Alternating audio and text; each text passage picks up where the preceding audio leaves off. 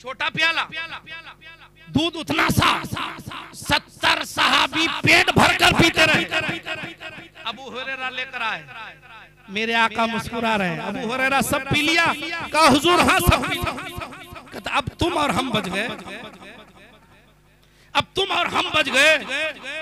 अबू हुरेरा अर्ज़ किया, जी हुजूर। आका इरशाद, अबू हुरेरा, अब तुम पियो। अबू हुरेरा कहते हैं कि मैं पीने लगा।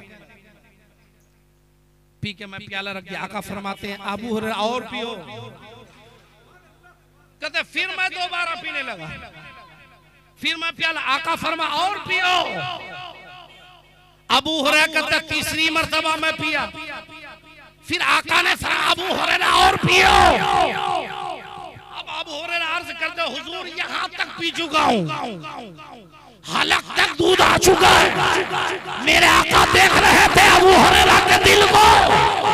अबू हुरैरा तुम सोच रहे थे, ये छोटा सा प्याला है, इस दूध से कितने लोगों का पेट भरेगा? इसलिए मेरे आका प्रेशर डाल रहे हैं। अबू हुरैरा, और पियो और पियो। ये नबी की बारगाह है। यहाँ मिकदार नहीं देखी जाती है, नबी की रहमत देखी जाती है। अब हज़रत अबू कहते हुजूर चुका हूँ अब मेरे आका ने फरमाया लाओ, बिस्मिल्लाह करके बाकी दूध मेरे आका ने नोश फरमाया। इस हदीस से पाक ने क्या बताया? एक तरफ़ नबी की आता है, एक तरफ़ नबी की बरकता है, एक तरफ़ नबी का इल्म है कि अबू हुरैरा दिल में क्या सोच रहे हैं ये नबी को खबर है। कौन दिल में किस चीज़ की ज़रूरत है। ये मेरे आका जान रहे हैं। ए गुलामो, तुम कुछ मांगो या ना मांगो? नबी पर दुरूद सलाम फेंकते रहो। तुम्हें जो चाहिए नबी अता फरमाते अब जब ये हदीस अब मुशाहिदा सुने। मैं हाजिर हुआ मस्जिद नबवी में। दिन के वक्त वहाँ का जो पत्थर है दो तरह का। एक ऐसा व्हाइट मार्बल है जो गर्म नहीं होता है। वो तो खाना काबा में, काफ़ी दूरी तक मस्जिद हराम में हर जगह लगा लेकिन मस्जिद नबवी में बहुत मुख्तसर जगह लगा है, बाकी इन लोगों ने मुझे इन लोगों की नियत पे वहाँ भी शक इन कमीनों ने यहाँ जानबूझ के वो पत्थर नहीं लगाया। ताकि पत्थर इतना गर्म हो, लोग यहाँ खड़ा ही ना हो सके। लेकिन आशिकों को कौन रोक सकता है? दीवानों को कौन रोक मजबूरन बहुत सारे लोग। ये यही वहाँ भी देवबंदी है। जूता चप्पल लेकर खाना काबा में मस्जिद, इनकी बदतमीजिया देखना हो तो वहाँ देख किया आज हमारे ओलमा को लोग कहते हैं, ये लोग तो खाली इनके, उनके खिलाफ बोलते अरे खिलाफ नहीं बोलते, इनकी बदतमीजियाँ देखना हो तो जा खुदा के घर में देख। जा नबी के मस्जिद नबी, कितनी बदतमीज है ये। जूता चप्पल लेकर खाना काबा के बाद, जूता चप्पल लेकर मेरे आका की बारगाह में, जूता चप्पल लेकर मस्जिद नबी में, खाना काबा की तरफ़ पैर फैला कर बैठता है, आका के मजार की तरफ़ पैर फैला करके बैठता है, पैरों पे रखकर कुरान पढ़ता है। मैं कहना चाहता हूँ, अरे जिसके दिल में खाना हो मस्जिद नबी की अजमत ना हो मस्जिद हराम की अजमत ना हो वो भला कैसा मोमिन हो सकता है हो? ही नहीं सकता वो कितनी इबादतें कर ले सब बेकार है जब तक खुदा और रसूल की अजमत दिल में ना लेकिन दिन के वक्त हम लोग चले बगैर चप्पल के चलना। मैंने कहा पैर जल करके राग भी हो जाए मगर यहाँ तो फकीर चप्पल नहीं पहने। ठान लिया कि आका की बारगाह में हाजिर है चप्पल लग दिए। अब जाने में दूरी कम थी, खैर किसी तरह गए तलवा तो जल आका की बारगाह में हाजिरी हो गई।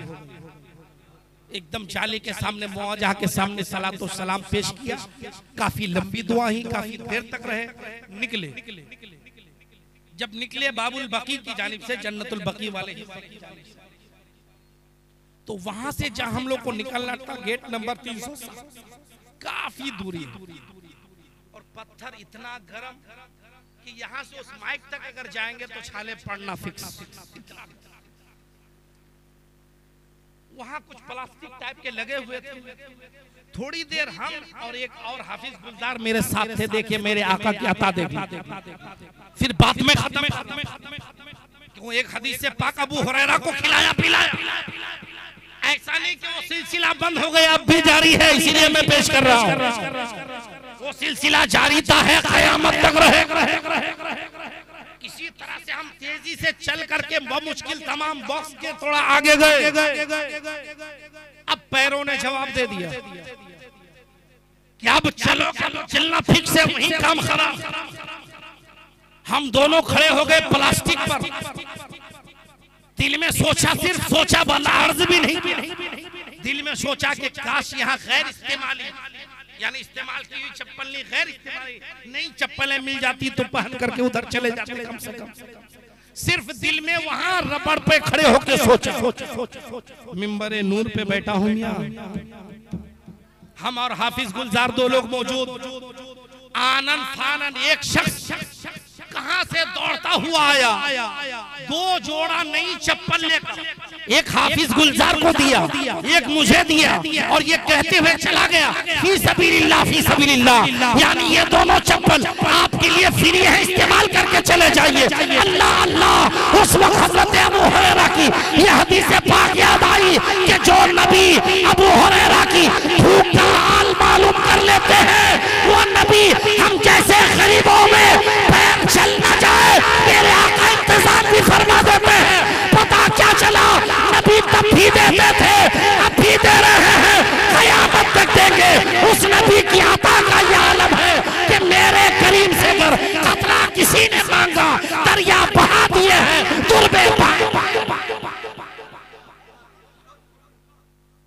इसलिए नबी को मुर्दा कहने वालों। जाके नबी की बारगाह में देख तो लो कि वो नबी कैसा सुनते हैं, अपने गुलामों पर कैसा वरना मैं कह रहा हूँ, अगर हम लोग आते तो जल ही जाते और पैर जल जाने से फिर अगला वाला काम मुश्किल हो जाता क्योंकि वहाँ जियारतें करनी हर उस मकामात पे हम लोग अल्हम्दुलिल्लाह पहुँचे। तो मैं अर्ज़ ये बुखारी शरीफ की हदीस कि मेरे आका अता फरमाते थे और बगैर बताए मेरे आका को मालूम है कि किसको क्या चाहिए। यहाँ हम लोग के साथ वही हुआ, मेरे आका ने इस्तेमाल खैर इस्तेमाली, चप्पल नहीं, चप्पल का इस्तेमाल इंतज़ाम पता क्या चला? नबी क्या था? कल भी जारी थी, आज भी जारी है। कयामत ही नहीं, बाद कयामत भी मैदान मशर में भी जारी रहेगा। हम गुनहगारों को, जब अल्लाह तबारक वाली के गजब का सामना होगा, कोई पूछने वाला ना होगा तो ऐसे मौके में मैदान मशर में सिर्फ़ वही ताता मौजूद होंगे वही सखी मौजूद होंगे रहमतुल्लाह मौजूद होंगे फातिह सैयदुल अरब आज़म मौजूद होंगे मेरे आका मौजूद होंगे शफीउल मुस्लिमीन मौजूद होंगे सारे अंबिया कहेंगे आगे बढ़ो आगे बढ़ो आका कहेंगे कहाँ थे? मैं तो तुम्ही लोगों को ढूंढ रहा था। आओ मेरे दामन में आओ आओ मेरे दामन में आओ। आओ नबी ने दुनिया में भी दिया नबी ने खबर में भी दिया मैदान में भी दिया। वहाँ भी शफात फरमा कर हम जैसे गुनहगारों को जहन्नम से निकाल निकाल कर जन्नत में दाखिल फरमाएँगे। ऐलान फरमाने लगे। सुनते हैं कि महशर में सिर्फ़ उनकी रसाई है, कर उनकी रसाई है लो जन्नत बनाई है। सबने सफे महशर में ललकार दिया हमको। के आका तेरी दुहाई इलाके के लोगों नबी देते हैं, सुनते हैं। उनके ना देने का सिलसिला बंद हुआ, ना सुनने का सिलसिला बंद। जिनका नबी मर गया है, वो मत मांगे। जिनका नबी नहीं सुनता है, वो मत मांगे। हमारे नबी सुनते भी हैं, हमारे नबी देते भी हैं। इसलिए हम सुनाते भी हैं, इसलिए हम मांगते हैं। और ये अकीदा कुरान का है हदीस का है इसी अकीदे पे कायम रहो। अल्लाह तबारक ताला आप सब पर करम फरमाए मदीने की बहार अता फरमाए सारे लोगों को गुंबद खजरा की हाजरी की सादत अता फरमाए। वाखिर दावाना अनिल हम्दुलिल्लाह रब्बिल आलमीन। खड़े हो जाइए सलातो सलाम।